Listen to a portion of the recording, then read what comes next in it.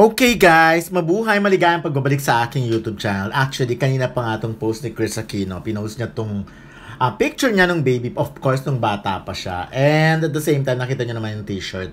Uh, makikita ang kanyang father, si um, former Senator Ninoy Aquino. Ayan. So, but anyways, um, siguro parang sagot din ito ni Chris dun sa paano nga, plano ng ano, di ba, paggawa uh, ng pelikula na may kinalaman sa kanyang ama, yung yun nga, yung um, martyr or murderer, parang sequel yon or part 2 yon ng Made in Malacanang. So, ang bida nga doon, of course, nakikita nyo na yang ano, Ninoy Aquino, si Jerome Ponce, at eto naman si Of course, yan si Jerome. At syempre, si Isko Moreno ang gaganap na nung Ninoy Aquino nung 1983. Of course, ayan. So, may mga development ka. Ito yung pagbati actually, Chris, yung post ni Chris, uh, may kinalaman of course sa birthday ng kanyang, ni, ano nga, ni Ninoy na November 27. So, alam naman natin kung ano nangyayari. Of course, kahit sa mga millennials. By the way, nakikita nyo si um, Marco Gumabaw at alam nyo naman ang, ka ang role naman niya ay bilang batang uh, Ferdinand Marcos, of course, uh, former president then Ferdinand Marcos. Di ba nga may chika na ang nanligaw talaga kay ano kay eto na bago 'yon nakita niyo naman 'yan um si Cesar Montano of course bilang Marcos at si Isko Moreno bilang si ano si Ninoy. Ito yung mga panahong ito mga 1983 na yan eh. So ganun ang kwento. Makikita niyo naman sa Vincente Mention eh. Anyways, um So, yun na nga, parang sagot na rin siguro ito ni Chris at may kinalaman nga sa birthday ng kanyang father. Kasi kung sisimulan mo yung kwento, ay yung post ni Chris, um, eto na muna yon Doon muna tayo sa sa to. Subukan mang baguhin ang kwento ng kahapon. It's from you I learned to never show anger, never reveal your weakness. The child of Ninoy and Cory, the last still carrying their last names, learn from both faith in God, patience, protecting your integrity, standing firm with your words, trustworthiness, and caring for all Filipino regardless of chosen color, and sharing with those in need. Those are values I hold on to do to and do my best to instill in my sons. God sees all and that's what matters. Hero. Ayan.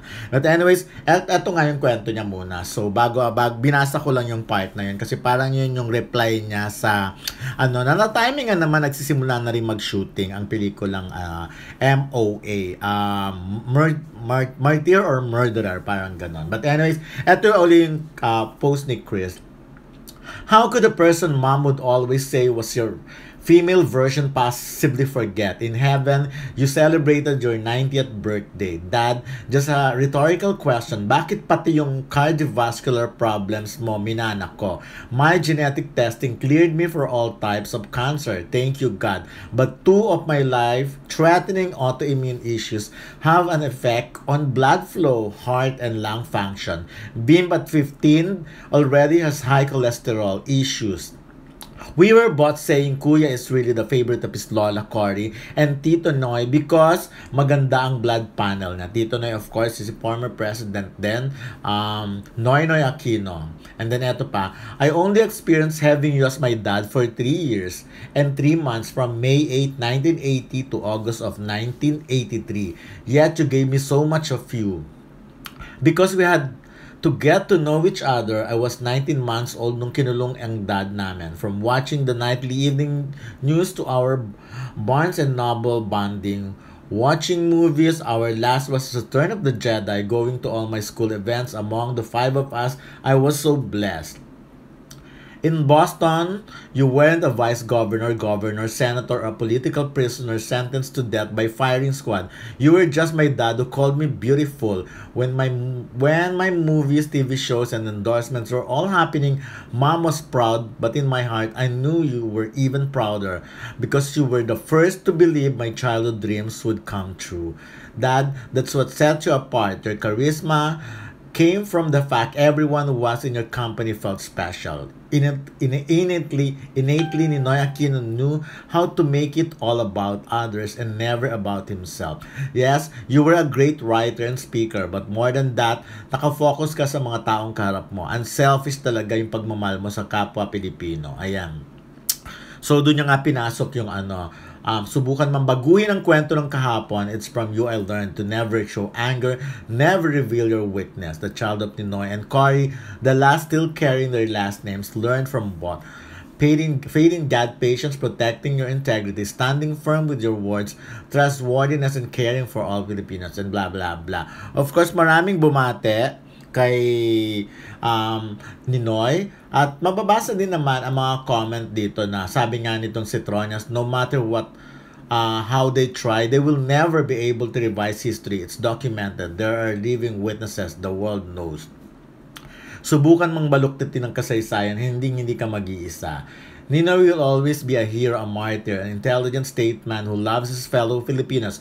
No fake propaganda can tarnish that. Only the insecure will paint a different Ninoy. Ayan, komento to ng mga, of course, followers ni, followers ni Chris, mga fans ni Chris.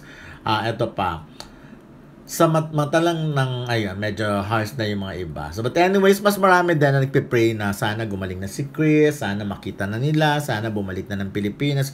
Maraming sana na talagang kahit naman ako, eh gusto kong mangyari na yung sana ng lahat na yan. Ano. But anyways, at sabi nga ni Direk Daryl Yap, huwag munang husgahan ng pelikula hanggat hindi pa napapanood. Panoorin muna bago mag-react bago mag-comment. Remember, ganun ang nangyari daw sa Made in Malacanang. Ang dami ng reaction, hindi pa napapanood ang pelikula. Ayon!